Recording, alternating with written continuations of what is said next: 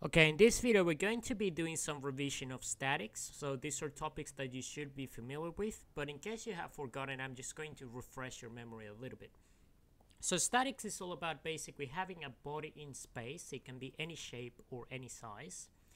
And if you have a bunch of external forces and moments, which are essentially just rotational forces, then they should all basically add up to zero.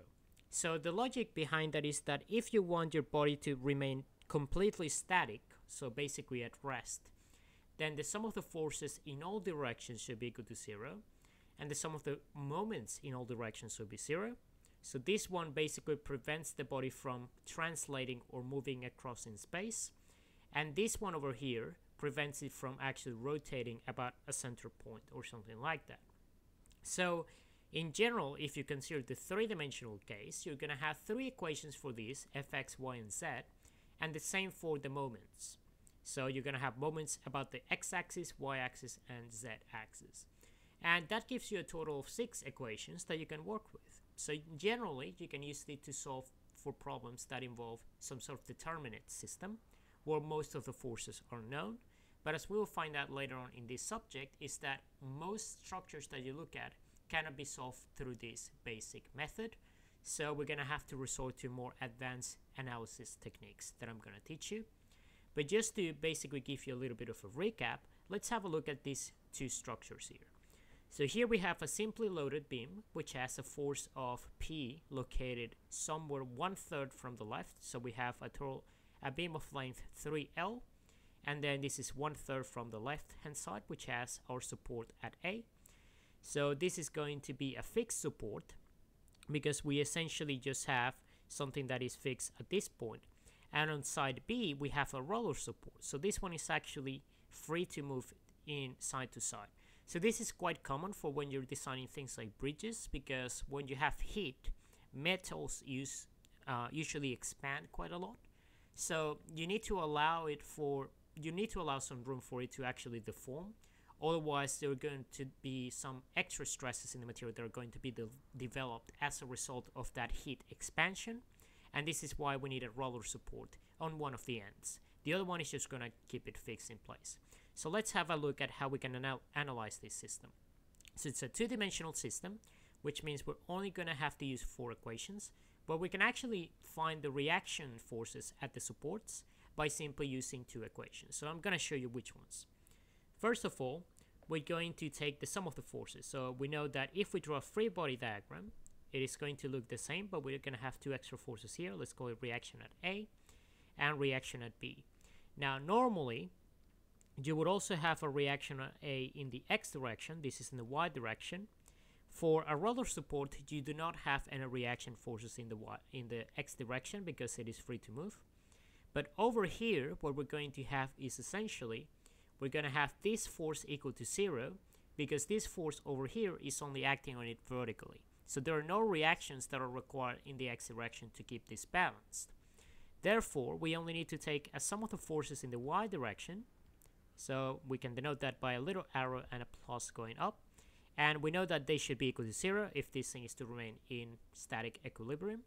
So now what we do is we take, okay, so we have one force going down, that's going to be minus p.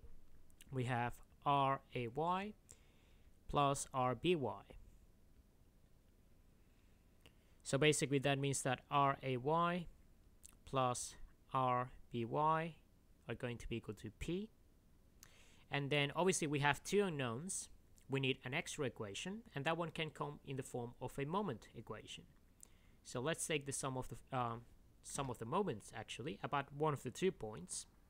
So what we can do here is we can select one of the points that lies exactly above one of these forces so that the moments about that point um, given by that force are going to be zero. So let's choose sum of the moments about point A, which is just going to be this little axis over here.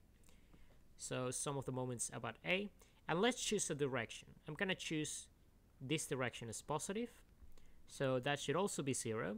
And now what we're going to have is P times the perpendicular distance to that center point, which is just L.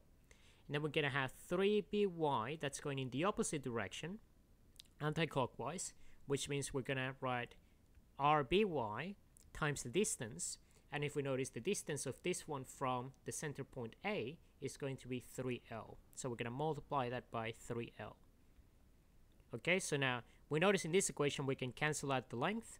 So it turns out that 3by is going to be equal to p on 3. So now we have two equations, two unknowns. We already know what this one is, so we can just plug that in to solve for ray. So ray is going to be equal to p minus p on 3, which is equal to 2p on 3. And that's basically our answer. So normally this is the first step in analyzing any problem in solid mechanics. We need to solve for the reaction forces. Now, it depends on the type of support as well, because if you have a fixed support like a wall support over here, then what's going to happen is you're also going to have a bending moment reaction. So if we were to draw the free body diagram for this one, which I'm going to do over here, we have our beam of length L,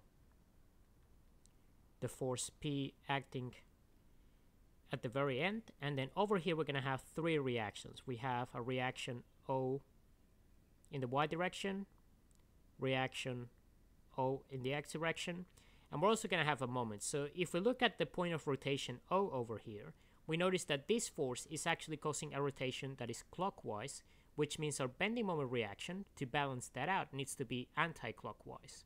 So we're going to call this moment O. Now, the first thing we notice is that this force is acting completely vertical, so downwards, which means there are not going to be any horizontal reaction forces here. This is just going to be zero.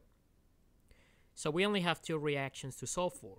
So in this case, we can start with sum of the forces in the y direction, let's choose up as positive. So we have minus p plus ROY. So it turns out that ROY is going to be equal to P. So we already found one of those forces. And then the next one is going to be the sum of the moments about point O, which is going to be equal to 0. So once again, let's choose this one as positive, so anti-clockwise. Now we have some of the forces at O. Now, not to get confused with the same notation, I'm just going to write some brackets here so that we know that this is the moment at that point, but not the sum of the moments about. Okay, so we have this, and then we have minus p times L. So in this case, it turns out that the bending moment reaction is going to be equal to p times L. And that's it, we have our two answers there. And in the next video, we're going to do some more examples that are a little bit more advanced, but just know that knowing what your reaction forces for each type of joint is going to be is quite important as well.